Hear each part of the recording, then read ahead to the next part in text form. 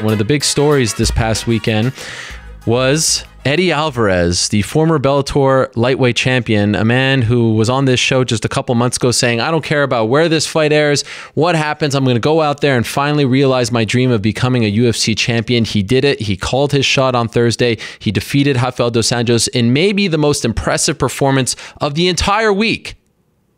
And we have the honor of speaking to the new UFC lightweight champion, Eddie Alvarez, right now on the phone. Eddie, how are you? What is up, Ariel? Congratulations, my man. Wow. What an amazing moment for you and, and an amazing moment for those who have been watching you for, for quite some time and have been through your ups and downs. Here we are around four days later. Has it sunk in that you're the UFC lightweight champion? uh, no, not really. um, it's, I, don't, I don't know. I'm home, man. I just had some breakfast with my uh, with my family.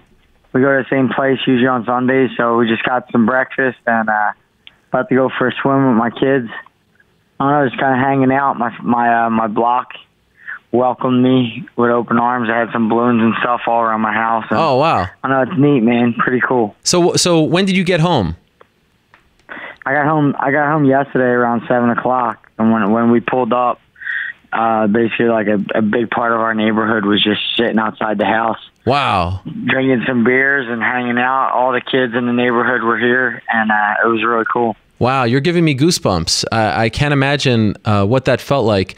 Um, uh, Thursday night, I was going to say Saturday night, but Thursday night was the fight. When you got back, when you were away from the press conference and maybe with your wife, uh, your family, your friends, your coaches, I mean, because because to me, the story isn't just that you're the champ, it's you overcoming everything. I mean, two years ago, it seemed like you were in purgatory. It seemed like this might not even be a reality for you, that you would never even get the chance to fight for the UFC belt.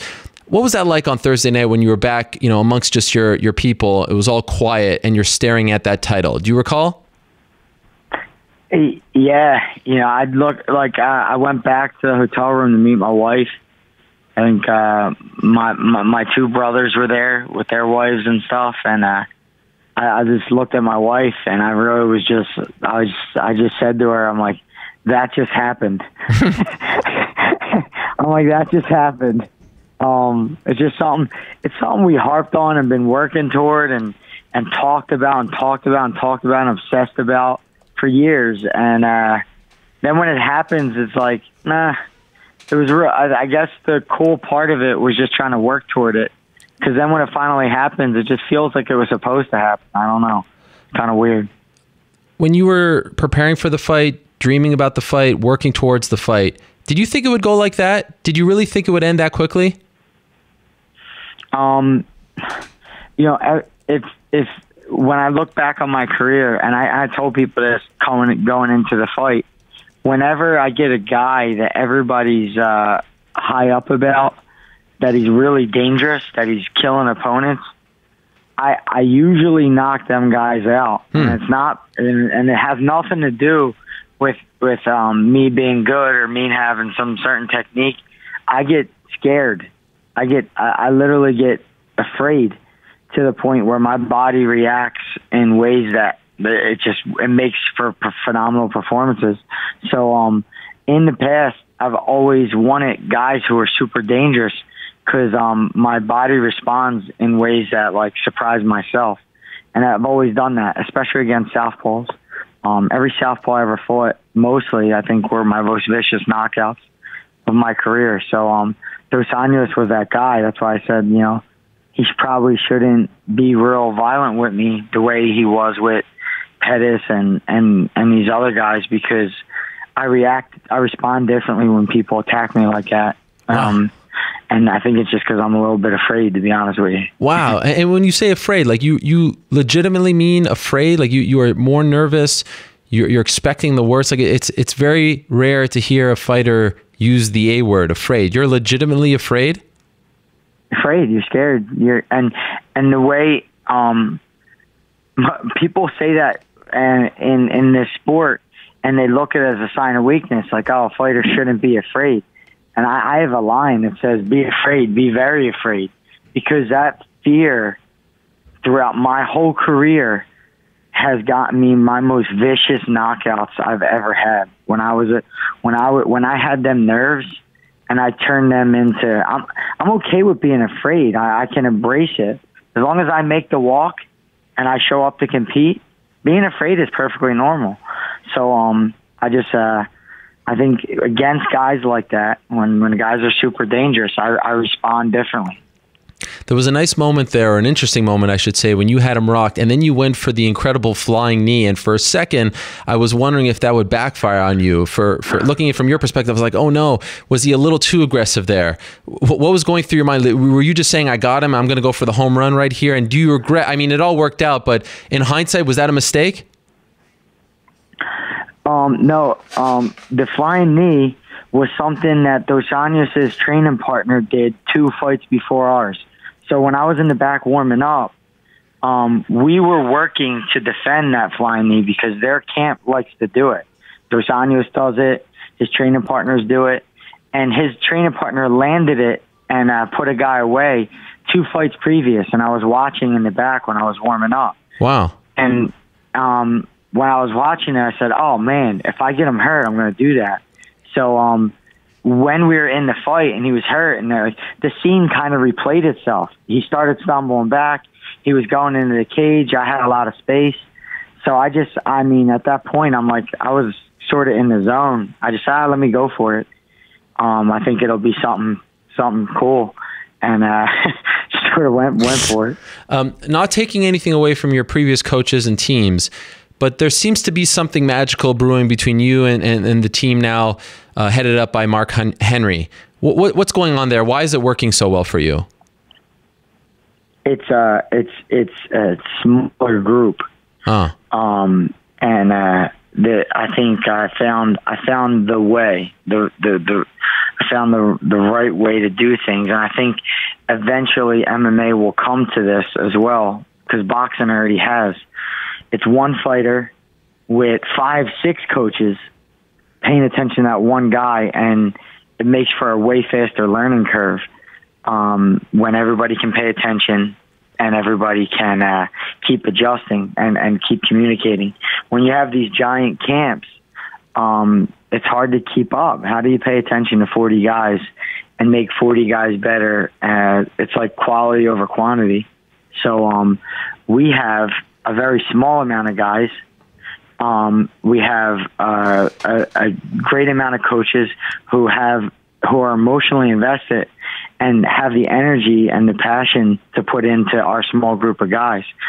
So um, it's it's a it's a mix for success, man. Like a terrible mix for success, and uh, we are um, we're all vibing, we're all pushing hard, and yeah, I think just that small group is is the key to uh, to the success. When you were involved with that issue uh, with Bellator a couple years ago, do you recall a moment where you sort of mentally gave up and said, "Okay, this isn't going to happen, and I have to come to terms with it"? And I'm wondering if you did, and that makes this moment today that much sweeter. It it does, man. I the fight fighting in general, I, I correlate everything in life. You know, like there's times in in life there's a bad there's bad points and we define them as bad and then we get down on ourselves and sometimes maybe we want to quit doing whatever it is we're doing but uh and fights are the same way. Uh you're in a fight you're in a terrible situation maybe your mind goes sour and you start thinking for a way out but uh um i the way i fight is the way i like to live my life so um i try not to make them any different you know, if I'm going to not quit in the cage, I'm not going to not quit in my everyday life. If I'm going to be patient inside the cage, I'm going to be patient in my everyday life. So it's really what I what I try to do inside the octagon is it's it's an expression of who I am. So that's really that's really how I want to fight. Right. I want to just be myself and express who I am. And I think a lot of people appreciate that about you. You do kind of feel like the everyman. Um, the great thing is you have a lot of options now as champion. There's a, there's a big bullseye on your back. Uh, your old friend Will Brooks was successful in his debut on Friday. You talked about the easy fight in Conor McGregor after the win. What do you think is going to happen for you next? Do you have any idea yet? Uh, no, no, we haven't. We, I mean, we're so close. You know, the fight just got over with. But um, more than anything, I would just really love for the UFC to come back to Philadelphia. Um, okay. I really want to campaign for that. I really want to push for that. Uh, if it's not in Philadelphia, like it's somewhere nearby. Um, this town is just screaming at the top of their lungs to have a UFC here, and I think we can sell out the Wachovia Center. We can sell out the, I mean, the Wells Fargo Arena or the the, um, the Liacouras. Uh, I, I think it's an easy sellout. Um, I think it's an easy sell for the city of Philadelphia. Okay, so speaking of uh, sales, as the new UFC lightweight champion, I'm sure you heard the news today that the UFC was sold, right? Yes, I have. Uh, when you hear that number, four billion dollars, what's your reaction? I I'm, I want some of that. I want to get me some of that. Four billion dollars is a lot of money, man. Um, our action is uh, I, I I'm at a position right now where I just want to fight in my city, and I want to grab as much of that as I can. I got I got I got kids. They got to go to college.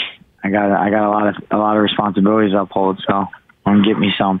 Yeah. So are you looking? Are you going to renegotiate? Renegotiate. I, I don't. I don't know. I'm. I'm gonna be honest with you. Um, I have some sitting down to do Okay. to figure out what's next. Um, I don't know typically how this process works when you become champion and things like that. Sure. So we have some sitting down to do, some discussing to do, and figure out who's next and where it's going to be at. And uh, that's really the only thing that's really important. I said at the top of the show that uh, my big takeaway was that you guys are worth more than we all thought you were because the UFC is apparently worth four billion dollars. Do you feel the same way? Oh yeah, yeah. I mean, look, not not not no fighter gets paid enough, man. Yeah. Uh, we're we're literally um, people don't recognize. Even I don't even think the fighters do. You know, people are we're putting ourselves and our in danger at risk. There's no amount of money that's ever going to pay enough to say, hey, I'm gonna get inside of a cage and risk my maybe my retina being detached, never being able to see again, or or risk. Uh, you know, my ACLs being torn, never be able to uh, be athletic again. It, there's no amount of money. So, I mean, the more money, the better. Uh, and considering what other athletes are getting paid, you know, we should be at the top of the athlete list getting paid for what we do. Yeah. Uh, that's that's a no brainer. Are you going to pay close attention to that fight on August 20th? Because I feel like you can, you can, you you have that history with Nate Diaz, and of course Conor. You were on this show talking about him, spoke about him on Thursday. Uh, is that the one that you're kind of really going to eye for for what's next for you, the winner of that fight?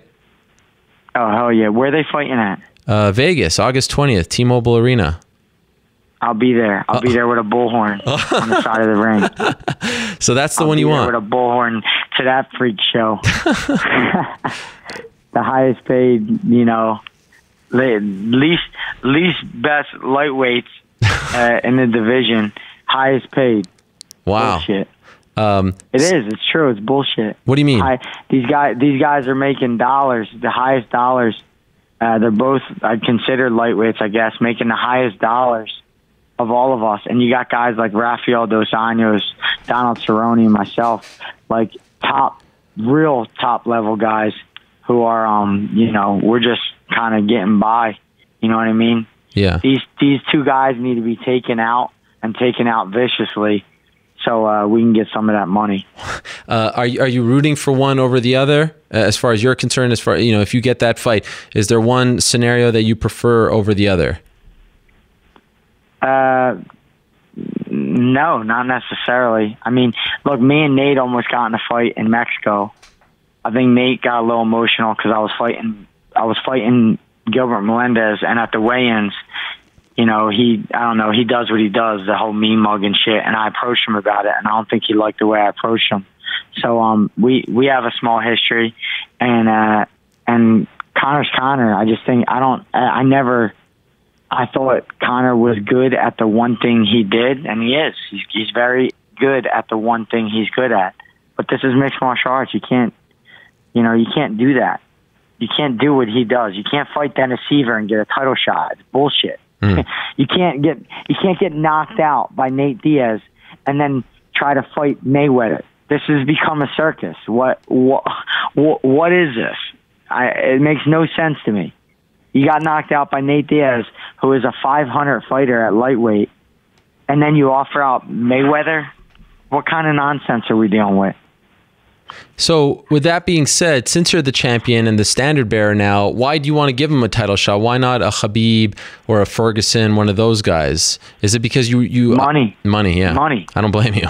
Money. You get look. You you get a small amount of time to share in pay per view buys ever. Yeah, Yeah, when you have the belt, that's when you get to share in pay per view buys ever.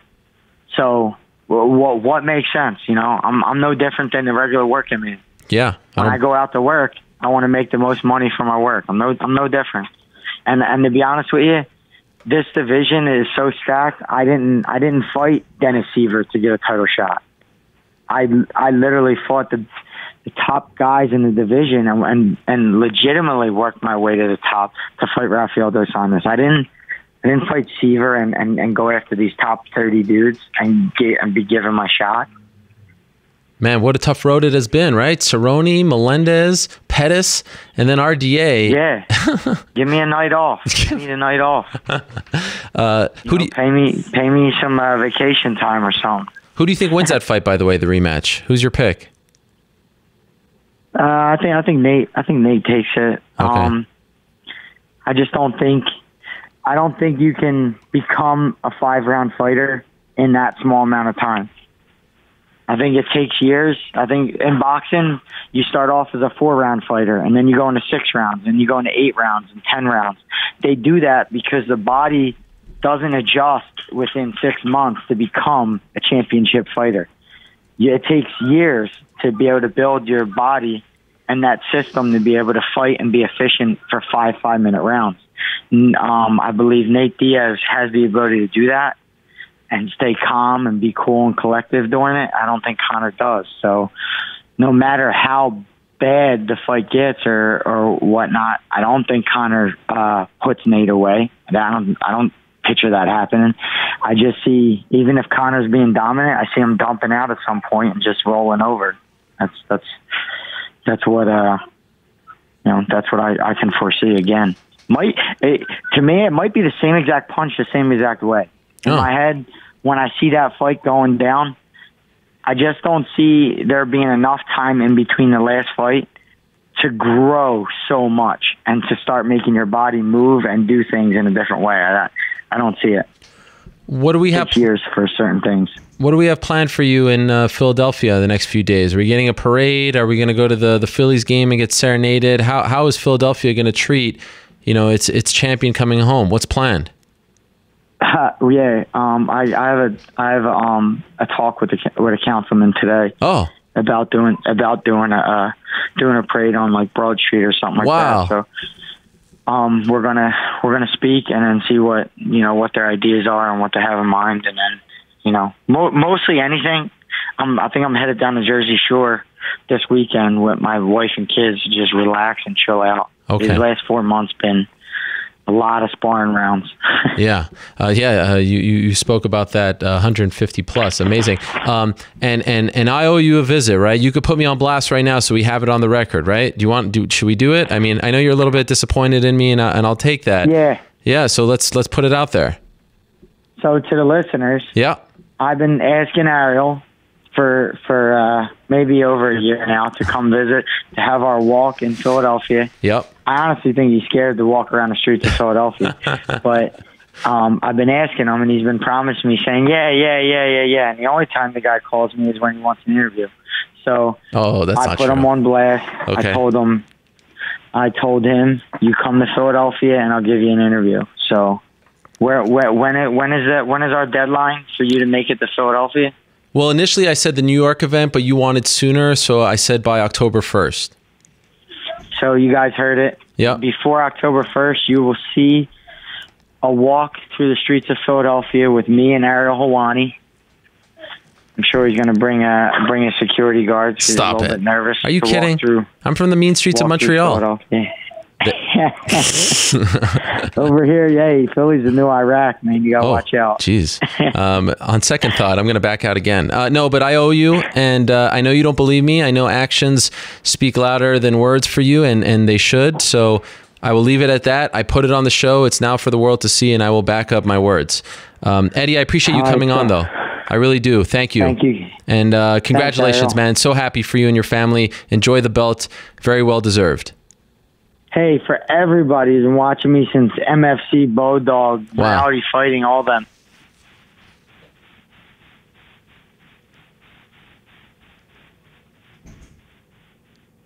You there, Eddie? Oh, it went down there? Dang. He was just about to thank everyone.